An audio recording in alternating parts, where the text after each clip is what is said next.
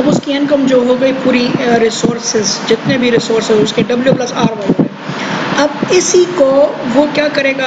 ये रिसोर्स को वो डिवाइड बाई टी कर लेगा। जब डिवाइड बाई टी करेगा तो ये उसकी कंजम्पशन हो गई, ठीक है? स्मूथ करेगा एवरेज कंजम्पशन हो गई, ठीक है? इसी को स्पेंड करेगा, इसी इनकम को स्पेंड करेगा थ्रू द टी एयर्स तो हम अगर डब्ल्यू प्लस आर वाई को डिवाइड बाई टी कर दें तो ये उसका कंजम्पशन फ़ंक्शन हो गया। क्या हो गया? कंजम्पशन फ़ंक्शन हो गया। So C is equal to W इसको हम लिख लिख सकते हैं one by T into W plus R by T into W ठीक है? ये उसका कंजम्पशन फ़ंक्शन ये कंजम्पशन फ़ंक्शन जो है, ये फिशर कंजम्पशन फ़ंक्शन है और मॉड गलिनी ने इसको यूज़ किया है। वो ये मॉड गलिनी और या फिशर का कंजम्पशन फ़ंक्शन है, ठीक है? सो so, इसके मुताबिक वो क्या देखो यहाँ पर कंजम्पशन फ़ंक्शन क्या हो गया? ये पूरी ज़िंदगी के इनकम का कंजम्पशन फ़ंक्शन हो गया और उसने क्या कर दिया? पूरी लाइफ इनकम को डिवाइड कर दिया। ठीक है एवरेज कंजम्पशन यानी एवरेज कंजम्पशन वो कर रहा है। ठीक है? सो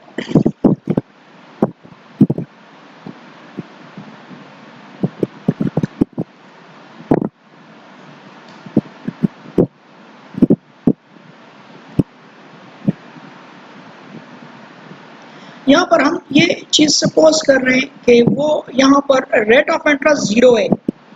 कोई रेट ऑफ़ इंटरेस्ट नहीं है। दूसरी, उसकी इनकम कांस्टेंट रहती है। इनकम में कोई इजाफा उसके नहीं होता। अच्छा ठीक है? आगे जब हम इसको वो देखेंगे तो फिर देखेंगे। नहीं इनकम में इजाफा होता है, ठीक है? अच्छा। यहाँ देखें इधर। अब ये ये चीज़ हमने कर ली। लेट सपोज़ करते हैं कि यहाँ ये पचास साल आगे ज़िंदा रहता है, तीस साल उसकी रिटायरमेंट एज है। ठीक है?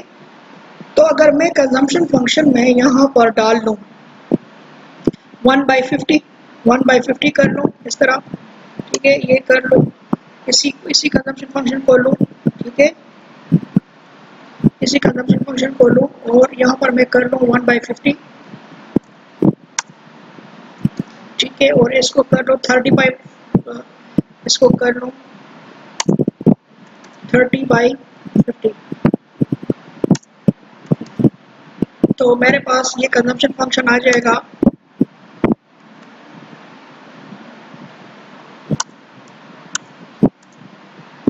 ये आ जाएगा पॉइंट ज़ीरो टू डब्ल्यू और ये आ जाएगा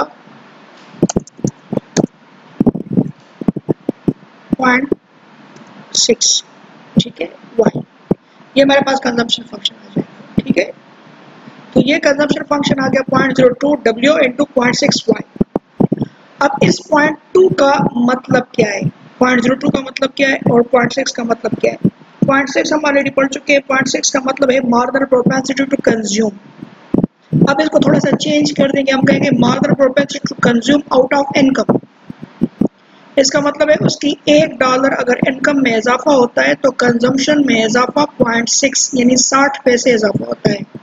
What if income increases by one dollar he increase consumption by point six dollar ठीक है? और इसको हम कहते हैं marginal propensity to consume out of income ये पॉइंट ज़ीरो टू जो है इसको कहते हैं marginal propensity to consume out of wealth इसका मतलब है, अगर एक डॉलर उसकी वेल्थ में इजाफा होता है वेल्थ में इनकम में नहीं वेल्थ में। ठीक है? तो उसमें से वो टू पैसे, दो पैसे पॉइंट ज़ीरो टू डॉलर वो खर्च करेगा। दो पैसे खर्च करेगा या पॉइंट ज़ीरो टू डॉलर खर्च करेगा। ठीक है? अब अगर इस पॉइंट ज़ीरो टू को वन बाई टी को मैं अल्फ़ा ले लूँ और पॉइंट सिक्स को बीटा ले लूँ या आर बाई टी को मैं, क्या आर बाई टी को मैं बीटा ले लूँ? ठीक है? तो ये लाइफ साइकिल हाइपोथेसिस या कंजम्पशन फ़ंक्शन बन गई। ठीक है? और इसमें अल्फ़ा और बीटा क्या क्या है वो मैंने बता दिया कि marginal propense to consume out of income है और एक marginal propense to consume out of wealth है। ठीक है? अब वो कहता है मोडगिरनी कहता है कि शॉर्ट रन में ये जो है अल्फ़ा डब्ल्यू यानी वेल्थ जो है ये कांस्टेंट रहती है। वेल्थ कांस्टेंट रहती है। तो जब वेल्थ कांस्टेंट रह गई तो ये इंटरसेप्ट बन जाएगा। क्या बन जाएगा? इंटरसेप्ट बन जाएगा। ठीक है? यानी ये वेरी नहीं करती। यानी एक, एक, एक साल में इंसान की कितनी वेल्थ में इजाफा होगा? ठीक है? एक साल में कुछ नॉमिनल इजाफा होता है। इसलिए इसको हम क्या करेंगे? कांस्टेंट करेंगे। हाँ चार साल बाद पाँच साल बाद दस साल बाद उसकी वेल्थ में ज़्यादा इजाफा होगा। ठीक है? तो यहाँ पर देखें इधर। यहाँ हमने ओ वाई एक्सिस पर इनकम ले ली है ओ एक्स एक्सिस पर कंजम्पशन ले ली है ये वही बिल्कुल कंजम्पशन फ़ंक्शन है जो कीज ने या हमने current income absolute income hypothesis में पढ़ा था, ये वही कंजम्पशन फ़ंक्शन है। थोड़ा सा डिफरेंस क्या है? अल्फ़ा डब्ल्यू है। अब अल्फ़ा डब्ल्यू को हमने कांस्टेंट लिया ये वही इंटरसेप्ट है। जिस तरह सी बार था, ये वही इंटरसेप्ट है। ठीक है, यहाँ पर हमने इसको कांस्टेंट लिया है कि शॉर्ट रन में इसमें इतना इजाफा नहीं होता।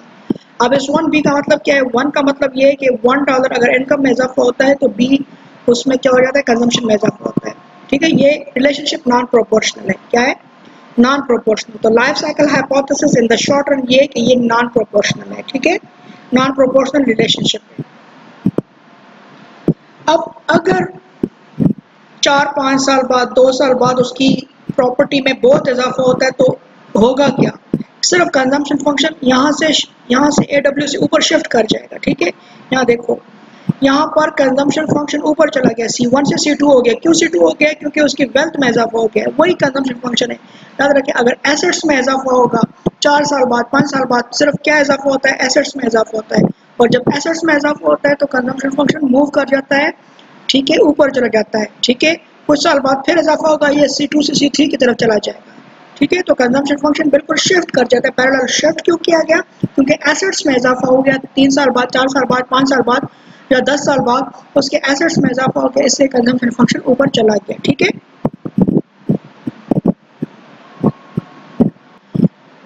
अच्छा अब हम देखते हैं कि पूरी ज़िंदगी, ये तो हमने वो देख लिया शॉर्ट में, पूरी ज़िंदगी में उसमें उसका क्या होगा?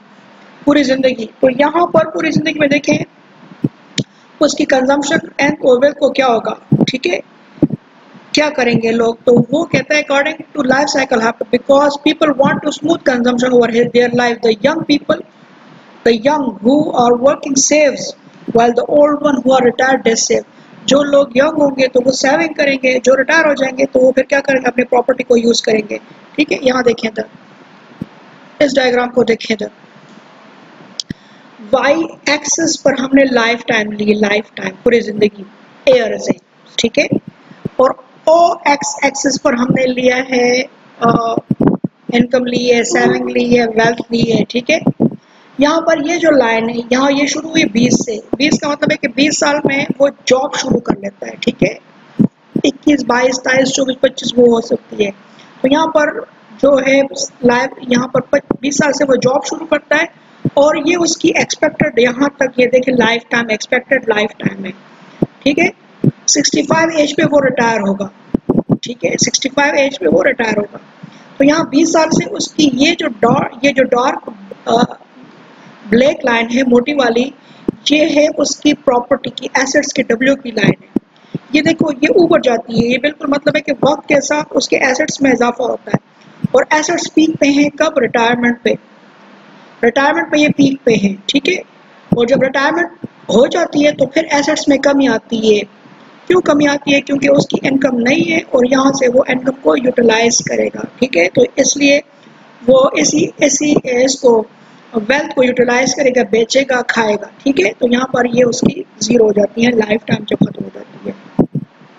तो इसलिए ये वी उल्टा वी शेप है, ठीक है? अब ये जो यहाँ पर हमारे पास रेड लाइन है, ये उसकी इनकम है। बीस साल से शुरू हो जाती है और यहाँ पर ये स्मूथ आती है ठीक है, बिल्कुल कांस्टेंट रहती है 65 ईयर्स तक। 65 ईयर तक ये बिल्कुल कांस्टेंट रहती है। कंजम्पशन ये जो ब्लू लाइन है, यहाँ से शुरू होकर 65 पे कंजम्पशन स्टॉप नहीं करती, उसके मरने तक स्टॉप करेगी, ठीक है? टिल हिज लाइफ टाइम तो ये जो ब्लू लाइन है, ये उसकी क्या हो गई? कंजम्पशन हो गई। बिल्कुल पैरल है। अब ये कंजम्पशन और इनकम में ये डिफरेंस है। ये इनकम ज़्यादा है कंजम्पशन क्या कम है? तो ये सेविंग्स होगी। ये जो येलो एरिया है, ये उसकी सेविंग्स है, ठीक है? अब यहाँ पर इनकम स्टॉप हो गई तो यहाँ से ये शुरू हो गई डिस ठीक है? ये डिस सेविंग्स हो गई, ठीक है? सो यहाँ पर इसमें से मतलब ये है कि पूरी ज़िंदगी में इंसान जो कमाता है, वही इस्तेमाल करता है प्रॉपर्टी एक्सेट्रा एक्सेट्रा ठीक है? ये, इसकी क्रिटिसिज्म मैं नीचे दे रहा हूँ, ये फिर पढ़ लें।